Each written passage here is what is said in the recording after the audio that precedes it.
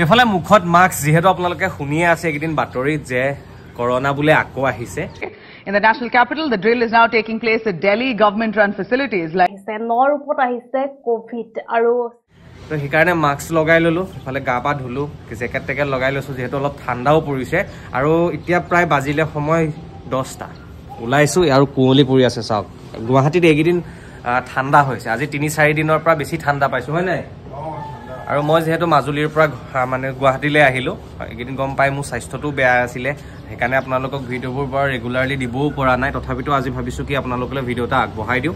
যিহেতু এইটো ডিচেম্বৰ মাহ মানে দুহেজাৰ বাইছৰ শেষৰটো মাহ আৰু লগতে আজি এইটো শেষৰটো সপ্তাহ। আৰু শেষৰটো সপ্তাহৰ আজি মংগলবাৰ আৰু মংগলবাৰ দিনা ভিডিঅ'টো মই আৰম্ভ কৰিছোঁ।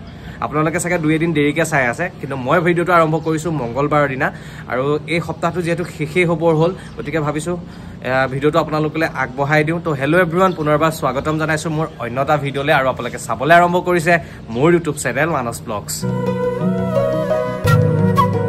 ওলাই মেলি মোৰ হ'ল আজি আপোনালোকক এই ভিডিঅ'টো আৰম্ভ কৰোঁতে মই দুটা কথা কৈ ল'ম বুলি ভাবিলোঁ।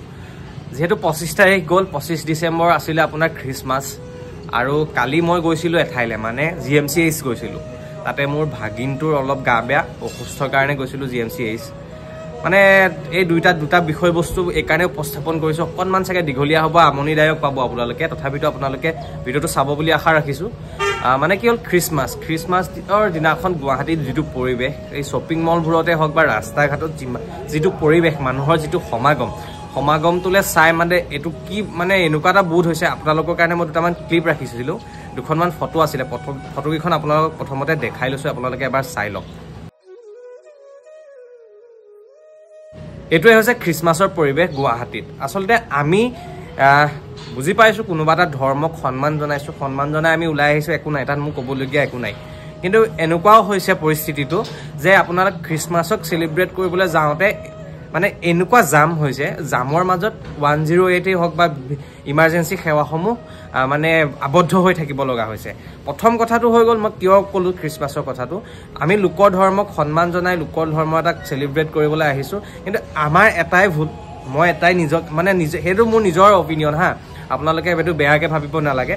এটাই ভাবিছোঁ মানে কি আমি নিজ কেনে ক'ৰবাত নহয় ক'ৰবাত আমাৰ নিজৰ ধৰ্মটো আমি পাহৰি গৈছোঁ নেকি? আমাৰ যিটো কৰিবলগীয়া আছিলে আমাৰ ধৰ্মটোৰ প্ৰতি সেইখিনি ক'ৰবাত নাইকিয়া হৈ গৈছে নেকি? কাৰণ এইটো কাৰণে মই কথাটো উলিয়াইছোঁ আমি লোকৰ ধৰ্মটোক যিমান মানে গ্ৰহণ কৰি আছোঁ বা যিমান চেলিব্ৰেট কৰিব বিচাৰিছোঁ কোনোবাখিনিত আমাৰ ধৰ্মটো ক'ৰবাত পিছ পৰি গৈছে নেকি? গতিকে কথাখিনি অকণমান ভাবি চাবলগীয়া চিন্তনীয় বিষয়। সেইকাৰণে আপোনালোকক কথাটো ক'লোঁ। আৰু ছেকেণ্ড কথা কালি মই জি এম চি এইচ গৈছিলোঁ। জি এম চি এইচলৈ যোৱাৰ পাছত মোৰ মানে এনেকুৱা লাগিলে মনটো। আপোনালোকক মানে ভাষাৰে বুজাব নোৱাৰোঁ। তাত এটা ক্লিপ ৰাখিছিলোঁ এইটো কৰিব নালাগে চাগে তথাপিতো মই কৰি কৰি আনিছিলোঁ। এটা চাওকচোন ক্লিপটো এবাৰ চাই লওক।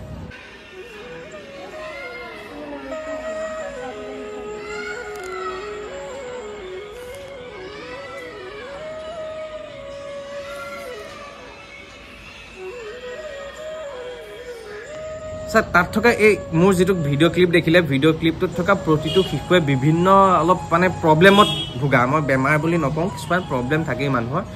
শাৰীৰিক অসুস্থতাৰ বাবে তাত ভৰ্তি হৈ আছে। আৰু যিটো পৰিৱেশ মানে তাত মোৰ ইমান বেছি বেয়া লাগিছে। বেজীটো দিবলৈ আহিছে কান্দিছে সেইবোৰ ক্লিপ মই ৰখা নাই। আৰু মানে বেয়া লাগিলে কিবা এটা। আৰু তাক আমাৰ যিটো ভাগিন মই ক'লোৱে আপোনালোকক তাক কম দিনৰ ভিতৰতে বাহিৰলৈ নিব লাগিব। তাৰ অকণমান প্ৰব্লেম এটা হৈ আছে। কি প্ৰব্লেম পিছত আপোনালোকক মই যদি পাৰোঁ জনাবলৈ চেষ্টা কৰিম। তো এই দুটা কথাই জনাবৰ কাৰণে আপোনালোকলৈ মই এই ক্লিপটো বনালোঁ আৰু আগবঢ়াই দিছোঁ আপোনালোকে খালি কথাখিনি। আৰু চাওক এবাৰ এইখিনি যে মই কৈছিলোঁ আমাৰ যে ৰুমৰ ফ্ৰণ্টত চৰাই চিৰিকটি যে পৰি থাকে সৌৱা চাওক। তো সিহঁতক চিন্তি আজিৰ যাত্ৰা আৰম্ভ কৰিছোঁ আৰু মই গৈ আছোঁ বেলতলালৈ। বেলতলা কলৈ যাম কি কথা আপোনালোকক আজি ভিডিঅ'টো দেখুৱাম আপোনালোকে চাই থাকক। আৰু ভাবিছোঁ কি মাজে মাজে ৰিলচ চিলচ এটাও বনাম বুলি ভাবিছোঁ। কেনেকুৱা হ'ব আপোনালোকে কমেণ্ট বক্সত কমেণ্ট কৰি জনাবচোন আৰু এইফালে আমাৰ ভাস্কৰ শুই আছে। উঠাই নাই এলেহুৱা মানুহটো জীৱনত। টকা পইচা বেছি বেংকলৈ যাব আৰু পইচা পাতি উলিয়াব চাগে আজি ভালকৈ কিবা এটা খুৱাব। যিহেতু বছৰটো শেষৰ সপ্তাহ গতিকে গোটেই সপ্তাহটো মই ভাবিছোঁ কি গোটেই সপ্তাহটো ভাবিছোঁ কি এনজয়কে কৰোঁ আৰু। তো যদি আপোনালোকে আশীৰ্বাদ দিয়ে কৃষ্ণক চিন্তি তেতিয়াহ'লে এনজয়টো কৰিব পাৰোঁ। তো ওলাই আহিলোঁ ৰুমৰ পৰা আৰু এয়া আমাৰ ভাইহঁতক লগ পাই গ'লো। ভাই কি খবৰ? নামটো কি? হা? কি? জাহিদুল। ডাঙৰকে? তোৰ নামটো কি? ৰাচনালী। তোমাৰ? এ ভাই কি খবৰ? নাম কি?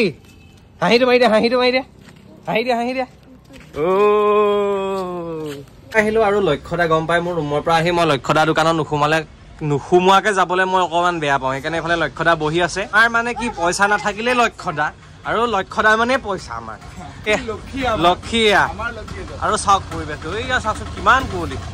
অ' ভাই ঠাণ্ডা লাগছে নেকি? নাই লগা হাঁহিটো কিন্তু কিউট আছে ৰে তোৰ। আপোনালোকক আগৰ ভিডিঅ' এটাত দেখুৱাইছিলোঁ আমাৰ মানে কাৰেণ্ট এণ্ড আছামৰ যিটো অফিচ আছে অফিচটো দেখুৱাইছিলোঁ আৰু তালৈ আহি পালোহি। পোৱাৰ পাছত এতিয়া ভাবিছোঁ চাহ একাপ খাই যাওঁ। সেইকাৰণে বাহিৰলৈ ওলাই আহিলোঁ আৰু এই বাইদেউৰ তাতে চাহ একাপ খাবলৈ আহিছোঁ। আৰু এইফালে আমাৰ পিংকি বা আছে। পিংকি বাই খাই আছে ৰুটি। ৰাতিপুৱা আহিছিলে সোনকালে গতিকে ভোক লাগিছে। ভোকটোৱে খুন্দা মাৰি ধৰিছে সেইকাৰণে ক'লে বোলে ব'লা কিবা এটা খাই আহোঁ। মই খাবলৈ আহিছোঁ চাহ আৰু পিংকি বাই খাব আহিছে ৰুটি। পিংকি বা খাইছা? মেকআপটো অতি মজা লাগিছে। এতিয়া প্ৰায় সময় সাতটামান বাজিব হ'ল। ভাবিছোঁ ৰুমলৈকে যাওঁগৈ আৰু সময় ইয়াত নাথাকোঁ। গতিকে যিহেতু ব্যস্ত আছিলোঁ সেইটো কাৰণে বৰ বিশেষ ভিডিঅ' কৰিব নোৱাৰিলোঁ। সৰুকৈ এটা ভিডিঅ' আপোনালোকলৈ আগবঢ়াই দিছোঁ এইকেইদিন পাৰিলে মই আপোনালোক কণ্টিনিউ ভিডিঅ' দিবলৈ চেষ্টা কৰিম যিহেতু বছৰটোৰ শেষ শেষ কৰিম। যদি ভিডিঅ' চাই ভাল পালে তেন্তে ভিডিঅ'টো লাইক কৰিব আৰু চেনেলটোতে যদি কোনোবা নতুনকৈ আহে তেন্তে চেনেলটো ছাবস্ক্ৰাইব কৰি দিব। লগতে কি কৰিব পাহৰিছোঁ ৰ'ব। কমেণ্ট কৰি জনাব ভিডিঅ'টো চাই কেনেকুৱা পালে শ্বেয়াৰটো কৰিব নালাগে বাৰু। ধন্যবাদ জয় অসম